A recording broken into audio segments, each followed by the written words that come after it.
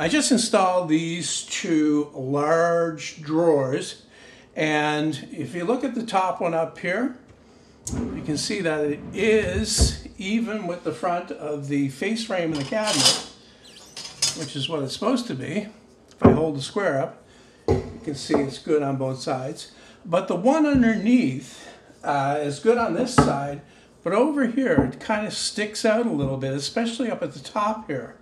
And this is the kind of problem that can drive you insane if you don't know what to look for. So the first thing that would probably enter your mind to fix this would be to say, well, something has to be out of square because why would it be, you know, out further on this side than on that side? But in reality, what's going on here is that this uh, bottom drawer slide down here is not level across. I installed these so that they were right down on the bottom of the cabinet when I put them in. And um, I think the bottom of the cabinet is level from front to back, but I might have done something to uh, change that while I was doing it. I can't remember. Anyway, when I check it with the square, with the square set up on top of the drawer slide, the top of the slide, and I put it up against the front of the cabinet, there's a gap up at the top here. I'll push it in. That means that the back of the drawer slide is higher than the front. And when I take the square and I measure it over here, I can see that it is absolutely square to the front of the cabinet here.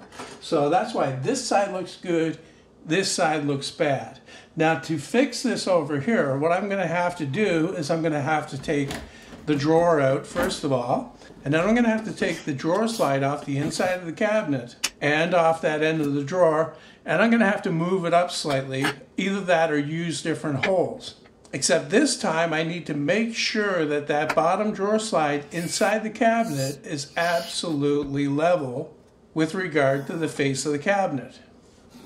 So as you can see, I decided to take the drawer slide and move it up. So I'm just to undo the screws on this down here. What I'm going to do is I'm going to space up the front here with this carpenter's pencil, which happens to be a quarter inch thick. So that's convenient. That's how much I moved the drawer slide up, actually. And I will drill a new pilot hole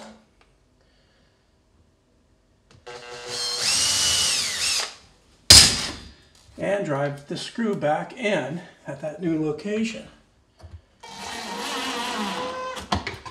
I'll take the carpenter's pencil out and I'll move this up and I will adjust it this time until it is absolutely square to the front.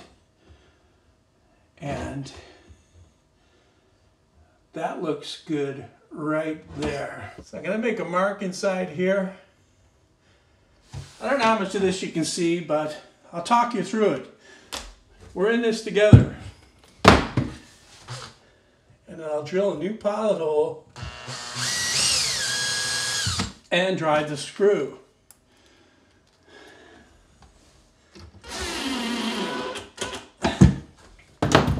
And just because I should, To double check it. And it looks good. Now I can put the drawer back in and check the fit. Okay, that looks a lot better.